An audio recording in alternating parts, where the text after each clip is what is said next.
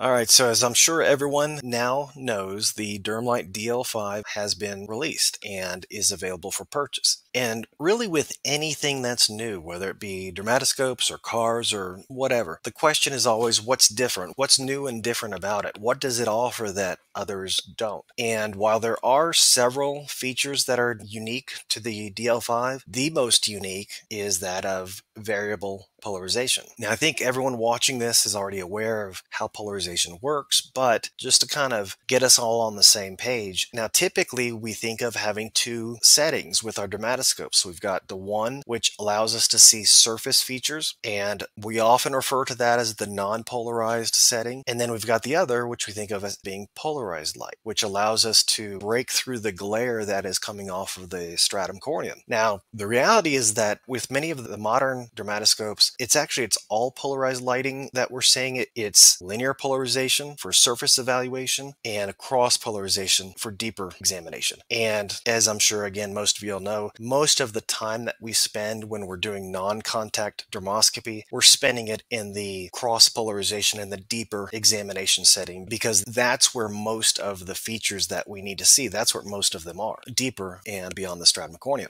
And so what Dermlite has done with the DL5 is that they've taken the two options of linear polarization and cross polarization, and rather than giving us the either or, we now have the ability to scroll through the spectrum of polarization levels. And in doing so, we can accentuate structures and elements within the skin at very, very specific depths. And so, just to emphasize the importance of the role of polarization in dermoscopy, I just want to bring up two relatively recent articles. One is this article, which talks about the presence or disruption of skin markings as it relates to skin cancer. And this article, I like it because it reminds us that at each level, there's often something that we can learn that we can incorporate into our assessment of any given lesion. I'll put a link below for those of you who are curious. And the second second one is honestly, in my opinion, a bit more important. And the title of the article pretty much says it all. Not all polarized light dermatoscopes may display diagnostically critical polarizing specific features. The doctor who put together these side by side comparisons did a really good job with, I think, six different dermatoscopes, Dr. Chin Weibrew. And to me, it just, it's incredibly helpful to see that. And tying it into the DL5, it reminds us that degree of polarization in one dermatoscope is not the same as degree of polarization in another. And in this case, talking about a significant finding associated with melanoma, the shiny white lines, if the degree of polarization or lack of polarization is obscuring our view of really important features like the shiny white lines, that can have a significant outcome for the patient. All right, so let's come back to the DL5. So on one end, we have polarization, which accentuates the surface features, which in the case of DL5, rather than saying linear polarization, the terminology that they have preferred to use is parallel polarization. And so parallel polarization is the setting which allows us to see very top surface features such as skin markings. And then as we move down the spectrum, the deepest level of cross polarization is what allows us to see past the stratum corneum and see those colors and structures and elements. And so we know that with the DL5, the degree of polarization can be adjusted as we scroll through the spectrum. And in doing so, very, very specific depths and any structures, elements, colors within those depths are going to be accentuated. Now, I got to thinking about the concept itself because part of me, and I'm sure some of you watching this, are thinking, well, you know, thousands of a millimeter difference between any different level. How much difference can it really make? Does the ability to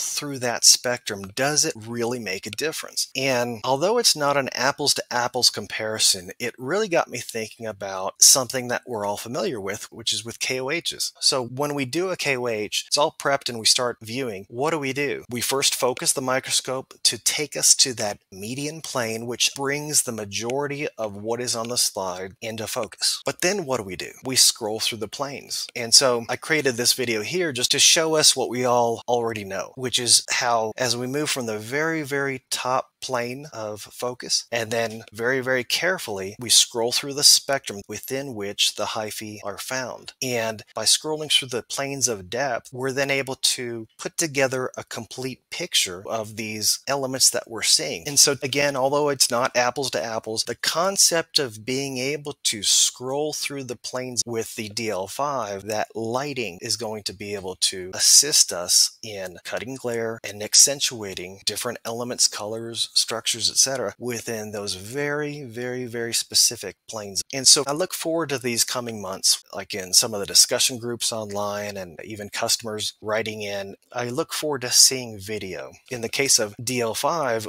Ideally, it would be a recorded video of the DL5 in action as it scrolls through so we can all see in, you know, in real life what kind of difference it can make. Hopefully it helps clear up at least the concept of how variable polarization will work in dermoscopy and in the DL5. Thanks.